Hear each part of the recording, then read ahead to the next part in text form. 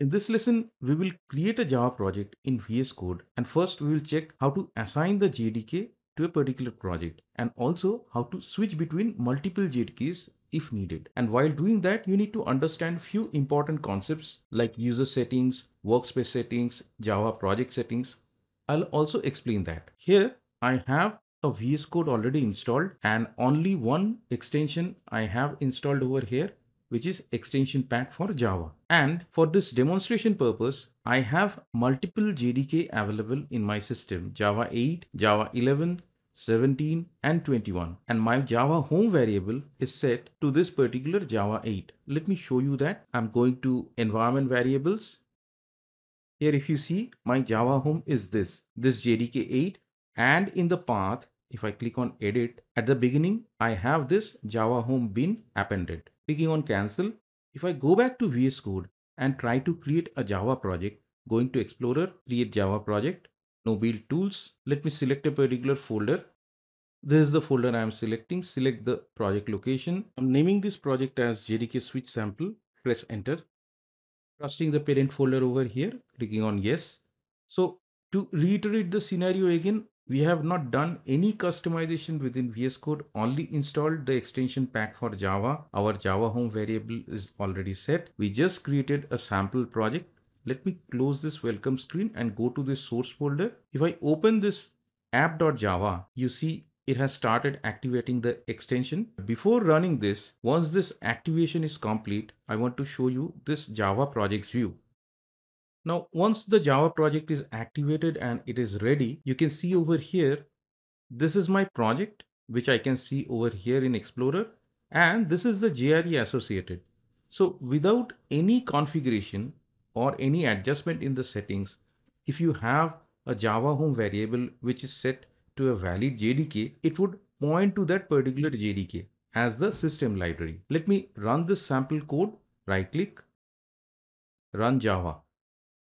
The program has run successfully. We can see the hello world. And more importantly, here if you see, it is using this JDK 8, the JDK which is set in the Java underscore home variable. I would customize this code little bit. I'm trying to get the Java version and the JRE version. Let me run the code once again. Here you can see it is printing the value JDK8 once again. So without any customization, if the JDK home or Java home is set, this is how we can execute a Java project in VS Code. Now, what if we want a user level setting? In VS Code, there is a concept of user level setting and workspace level setting. If I go to file, click on preferences and click settings, that is one way. Or we can directly click here under manage settings.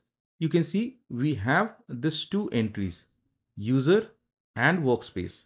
If I type runtime over here, then under language support install JDK, we have this Java configuration runtime. As user is selected, this is the user level setting. Let me click over here. You can see at the top, this is under this particular location, users, then my username, app data roaming code, user settings.json. This is the user level settings. If I go back to settings and if I click on workspace, now if I click on this edit in settings.json, it is going to open the workspace level setting file. You can see this location code settings.json. This is basically here. This is my workspace and under this I have workspace level settings. So user level settings and workspace level settings. And in Java project, we have project level settings also. If I go to Java project settings by going to command palette first, control shift P, type Java project. Here you can select Java colon open project settings. If you click this JDK runtime, you can see it has already picked up this 1.8.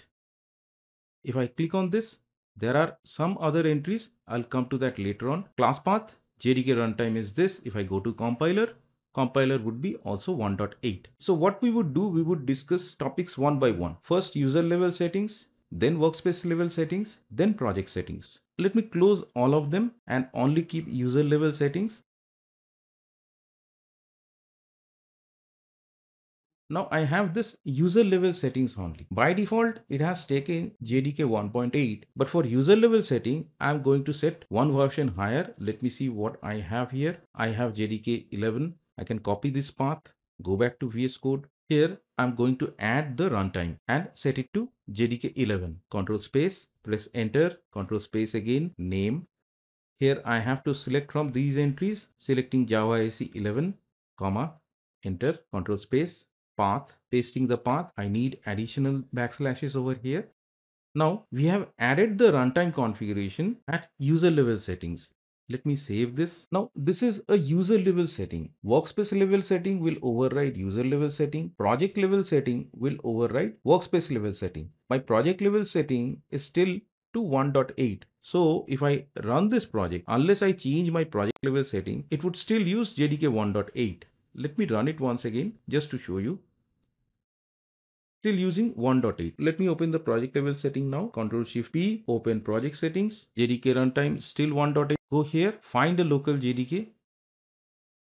Selecting this JDK 11, select JDK home, go to compiler, change this. Now we have the JDK 11 over here and in compiler, we have this JDK 11. Click on apply settings. Let's rerun the code once again. Let me get rid of all this.